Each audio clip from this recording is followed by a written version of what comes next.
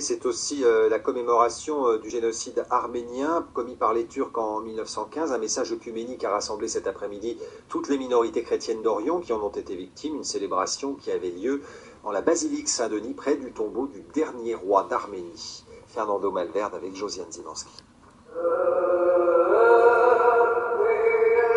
Des chants en araméen, la langue parlée par le Christ, ont résonné cet après-midi dans la basilique des rois à Saint-Denis. Des Assyro-Chaldéens, des Syriaques, des Grecs, des Arméniens ont célébré pour la première fois en région parisienne une messe œcuménique de toutes les minorités chrétiennes d'Orient. Des minorités dont l'histoire remonte à des milliers d'années et qui partagent la même mémoire douloureuse des victimes du génocide perpétré par l'Empire ottoman en 1915.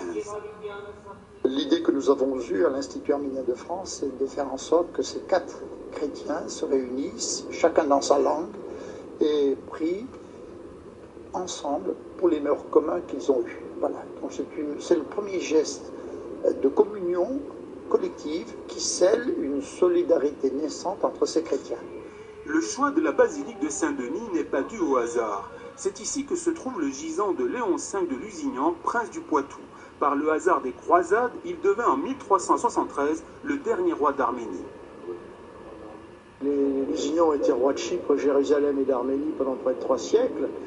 Et euh, nous allons régulièrement aussi bien à Chypre euh, avec les Arméniens, mais malheureusement nous ne sommes jamais allés en Arménie encore, ni à Ishmiajic. Défenseur de la mémoire, l'Institut arménien de France entend renouveler cette expérience œcuménique. L'an prochain, des Kurdes, des Chypriotes et même des Turcs progressistes seront invités à se recueillir en hommage aux victimes du génocide.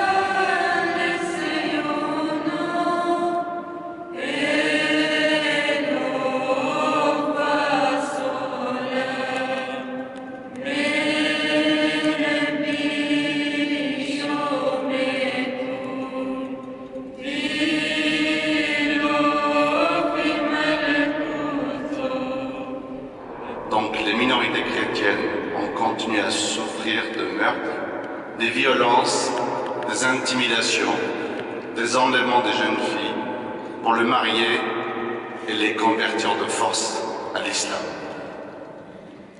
Aujourd'hui, nous nous trouvons sans pays, dont notre pays était bien sûr la Mésopotamie. Nous sommes devenus des apatrides,